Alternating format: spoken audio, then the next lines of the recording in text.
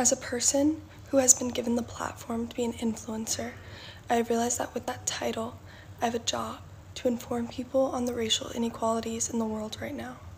How come when it comes to the color of a person's skin, they're treated differently? A man was killed, his life was ended. Don't kill me, George Floyd says as his last words. His life should not be over, and his name needs to be heard. George Floyd, a father and a person a human who lost their life because of the color of their skin? We, people of all colors, need to speak up at a time like this. I have also come across lots of people speaking up and saying that the Black Lives Matter fist that many people are using as their profile picture are for the black community to use only. I have since changed mine back, but I will continue to spread these messages and be an ally.